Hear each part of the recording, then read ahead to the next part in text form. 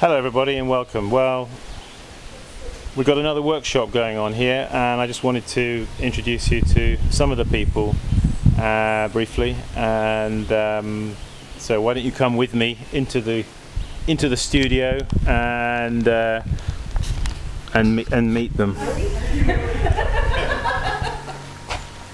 Absolutely. Wow! Look at this. Who have we got here? uh oh. Where would you like to start? Where would we like to start? Well, we'll start here with this Hi. this tall, good-looking gentleman. I'm David. I'm from New Mexico, and just here for the for the workshop. Having a great time learning how to uh, do things I've never done before. But, but you do, you have had a bit of experience, haven't you, Yeah. David? But I've learned lots of new things, new tricks, Good. And uh, 'Cause that's the thing, isn't it? There's always something that we can pick up and learn. It's always, I find, if I go and visit, if I go and visit another potter, there's always something that I see that he's doing that I think, oh yeah, that's a good idea. I like that. Or just something the way he's doing, what, what he's doing with his clay, or what he's doing with his glaze, or just something about his studio. You always pick something up, don't you? That's great. lots of tips So you, you're from, from Albuquerque. you, uh, you and Brenda both co- from, from, New Mexico. from, New from, from Coyote Clay is the studio where we yeah, we should give. Coyote Clays. Should we should we give a A shout out to my Yes. homies at Coyote. yes? Coyote Clay Well, we're going to give a shout out to Coyote Clays. Hello, everybody down there in Coyote Clays in New Mexico. Absolutely. I hear New Mexico is a beautiful place. Very much so, yes. Absolutely. That's great. Okay, we'll move on. Who have we got here? Oh, I'm Shelley from Pittsburgh, and um, I've been learning a lot. Um, I need to be more patient with myself, and um, I learned how to roll a rim today. oh, you learned how to roll a rim. Yes, Good. Yes. I enjoyed that. Yeah, I seem to I seem to think that you were rather enjoying the rolling of the rim, and uh, it's a very useful little trick technique to learn.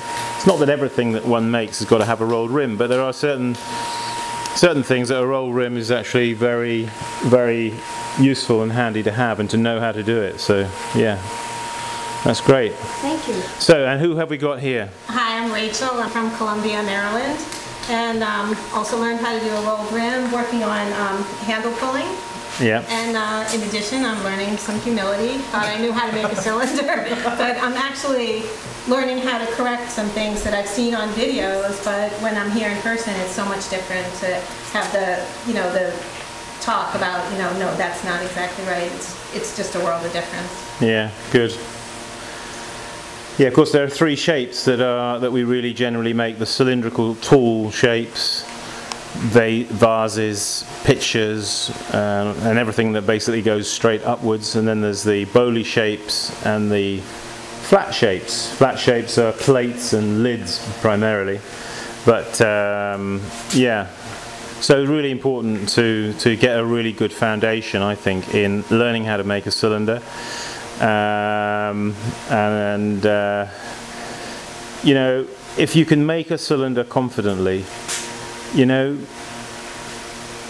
the world is your oyster. You know, you, you, there's so much you can do then with clay because once you've learned the skill of confidently being able to make a cylinder, the the rest is a lot of the rest is is is downhill. So yet so many people seem to be unable to do that properly. Anyway, good. That's excellent.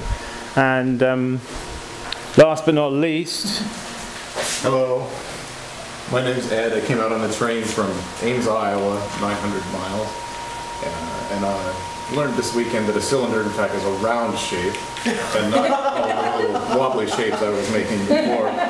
Um, but I would say in uh, half an hour sitting with Simon, I learned more about making cylinders than I learned in the entire first pottery class I took. I've only been at this for a few months. That's good. was wonderful. Come out here, do it.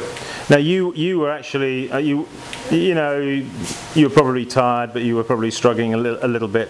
I understand that people come here; they're probably a bit tense from travelling, etc. You know, and uh, you know their first time on the wheel here in the studio, they feel a little bit you know, maybe a bit nervous or something. Well, I, Simon Leach looking over their shoulder.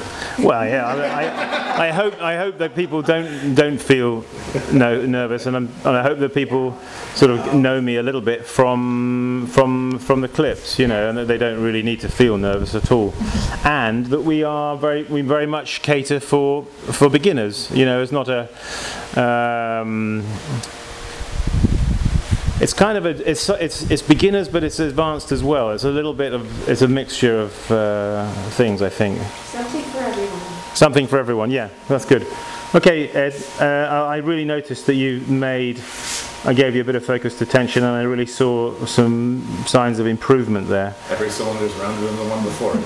Right, yeah. Okay, great. Thanks, Ed. Okay, well, thanks all of you, and we're going to continue pulling these handles, and of course, pulling handles is in itself is a is a skill, and um, it's not easy to manipulate the clay with your fingers and your hands in such a way as to for it to go where you want it to. It's almost like having to start learning to throw pots all over again, pulling handles, isn't it? You feel really, you feel very awkward, don't you? Yeah. I know, yeah. But it comes, it comes. Good. Okay, well, from here in Williamsburg, from the Etnas Furnace studio, this is Simon Leach saying, maybe we could all say together what we all have to keep doing, and that is to keep practicing. bye bye, everybody.